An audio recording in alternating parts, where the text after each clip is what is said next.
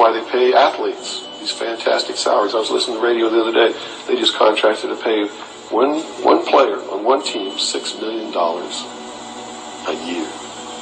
Can you believe this? And why is that? It's the Roman circus.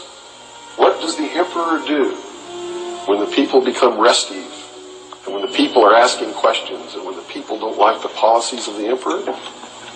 He sends them to the circus. He creates a circus. He builds a giant coliseum. And he begins to throw the Christians to the lions. And he has great chariot races and football games and basketball games, all to keep the idiots preoccupied with things that don't mean anything in the scheme of the entire world. So that they don't have the time to learn what the truth is. So they don't ever get smart enough to learn how they're being manipulated. So they don't ever question the emperor. That's why they pay a player on a football team or a baseball team a million or two million or three million dollars a year. It is the Roman circus.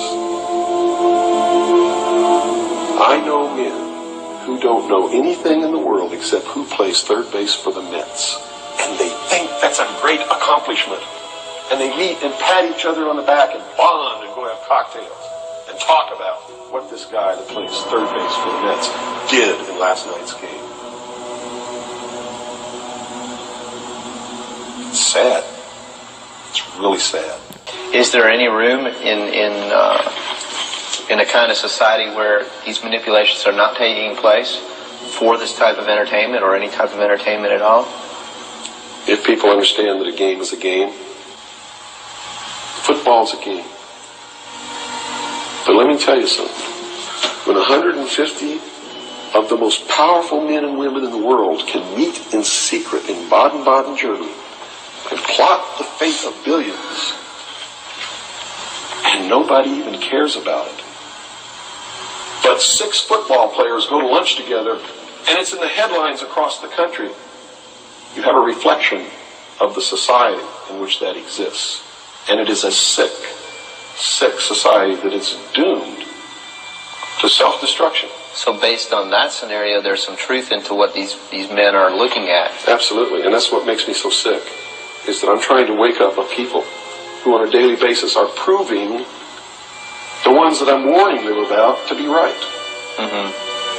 Well, so that even though a minority, there are people out there that you recognize are awake to this, if they don't do something about it, they will lose that ability to be free in that way. That's correct. Whether they might think, well, I don't need to worry about it because I know what I know and I'm fine.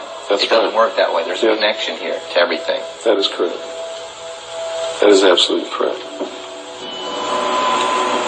A nation of people who are willing to send their sons and daughters that they profess that they love to a foreign country to die.